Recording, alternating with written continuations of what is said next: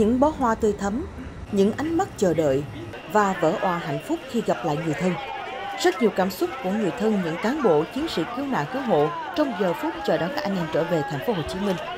Sân bay Tân Sơn Nhất tối 19 tháng 2 năm 2023 nhiều gia đình đã chuẩn bị hoa để chờ đón người con, người chồng, người cha của họ trở về sau khi hoàn thành nhiệm vụ cứu nạn cứu hộ sau thảm họa động đất tại Thổ Nhĩ Kỳ. Bây giờ là sung sướng lắm luôn á, sung sướng rất là sung sướng, nhưng mà rất tự hào, tự hào có một người con,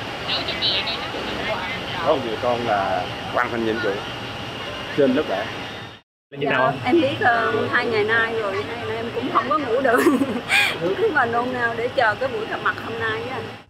Chị Hồng Diễm và ông Nguyễn Văn Tự là người thân của đại úy Nguyễn Trường Nam, một trong những chiến sĩ phòng cháy chữa cháy và cứu nạn cứu hộ của công an thành phố Hồ Chí Minh tham gia nhiệm vụ tại Thổ Nhĩ Kỳ. Do nhiệm vụ gấp rút nên ngày đi chị cũng chỉ kịp nhắn chồng an tâm công tác. Khi à, anh nói đi thì cũng rất là đột ngột, chỉ có một ngày là anh đi thôi. À, cho nên cũng vẫn chưa có chuẩn bị gì được cho anh hết. Em chỉnh chiếc áo ấm mà cũng vẫn chưa có đưa được nữa. Thì nói thôi anh cố gắng giữ gìn sức khỏe để mà hoàn thành xuất sắc nhiệm vụ ờ, của đảng nhà nước mình giao rồi hãy về với gia đình ừ dạ. dạ. ở nhà thì con với em à, luôn ủng hộ anh để chờ đợi anh về sớm dù vậy, những ngày chồng sang nhà làm nhiệm vụ, chị và những người thân trong gia đình vẫn luôn lo lắng và theo dõi tin tức, chờ ngày anh cùng đồng đội an toàn trở về.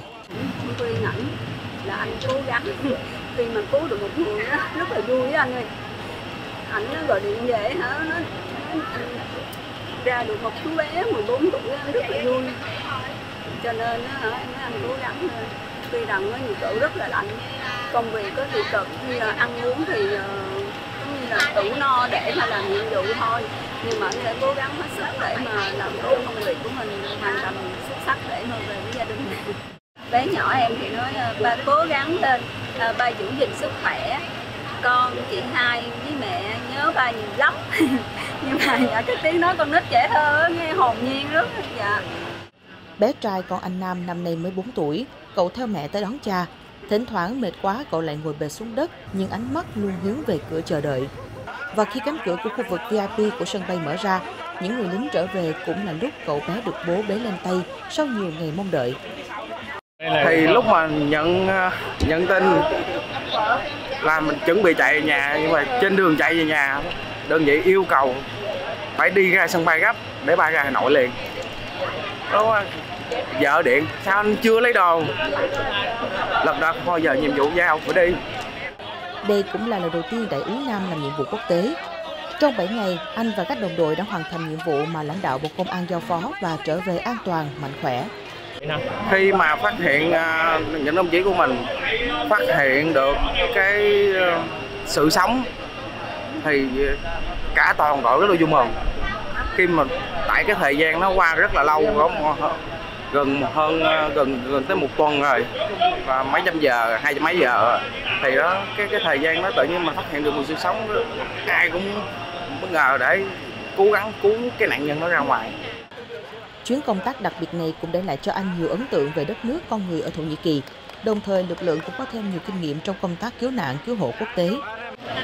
Khi mình tới cái cái cái nhiệm vụ à, cái cái à, cái vị trí đầu tiên thì người dân người ta tỏ ra quan tâm mình, họ mời mình ăn uống để tiếp sức cho mình đó. Họ mời cứ khoảng tiếng đồng hồ là đem bánh đem nước lại cứ mời các anh dùng thì à, qua một à, một tuần làm nhiệm vụ ở bên à, nước ngoài thì sẽ đúc kết những cái kinh nghiệm mà trong những cái cái môi trường sập đổ mình sẽ có những cách thức để mình phục vụ công tác như lấy kinh nghiệm của những cái đội bạn như à, Mexico, uh, Pakistan, uh, Trung Quốc mà người ta thực hiện những cái vấn đề mình học hỏi thêm để mình áp dụng vào thực tế nếu sự việc xảy ra ở của mình. Với tinh thần tìm cái còn trong cái mất, trong 7 ngày, các cán bộ chiến sĩ của đoàn Việt Nam phối hợp cùng lực lượng của các nước giải cứu thành công một người còn sống khỏi khu sập đổ, đưa 14 thi thể ra khỏi đống đổ nát, bàn giao cho cơ quan y tế địa phương. Đây là thành tích xuất sắc được nhân dân và chính phủ Thổ Nhĩ Kỳ ghi nhận, đánh giá cao.